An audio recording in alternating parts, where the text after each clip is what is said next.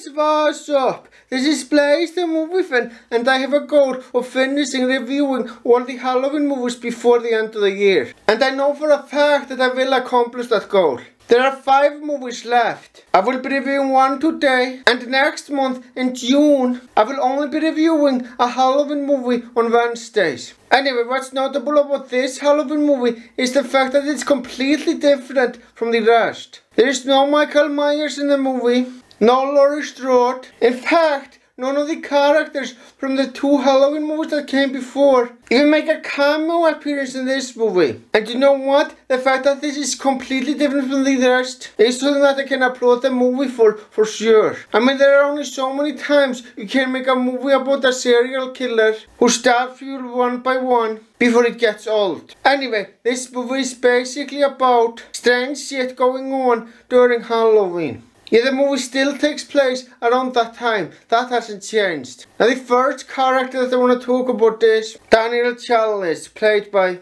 Tom Atkins. Now what I appreciate about this guy is that he is totally different from the characters of the other movies. And he is also a very fucking smart guy. Despite all the murders going on, he is not scared in the slightest. In fact, he does everything in his power to find out exactly what the hell is going on. And he will stop at nothing to solve the mystery. You know, I like the fact that this movie focuses on a guy like that. A character who is not afraid of the villain and wants to stop him.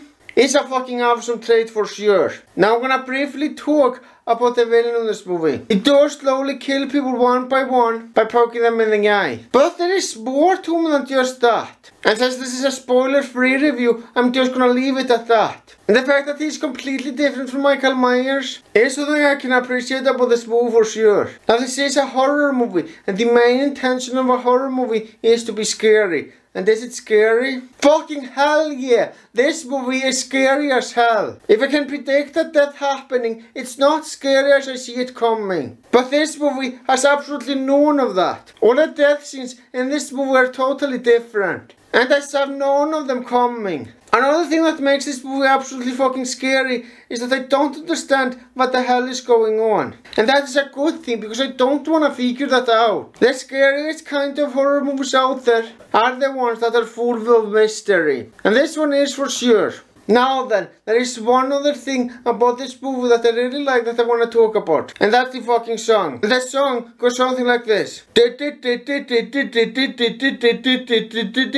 days till Halloween, Halloween, eight days till Halloween. Silver Shamrock. This song is so fucking catchy and I'm never gonna forget it. Which is also a statement that applies to the movie overall honestly. I'm never gonna forget this fucking movie because of how different it is from the rest of the Halloween movies. Now it's time for my overall thoughts. This is hands down my favorite Halloween sequel. And yes, I love it more than the 2018 movie. That movie is good as well. What I fucking love about this movie the most is just how fucking creative it is. Now of course, it isn't nearly as good as the original 1978 classic. There are very few horror movies that surpass that one in quality. But it still is the fucking best Halloween sequel. And for that I'm of course gonna give it a rating two thumbs up. Okay, only four movies to go and they will all be reviewed in June, so look out for that. You have reached the end of the video, thank you for watching, have a great day.